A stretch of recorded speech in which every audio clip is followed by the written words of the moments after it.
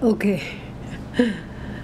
this one is mung bean thread or vermicelli with um, with um, mm, baby cabbage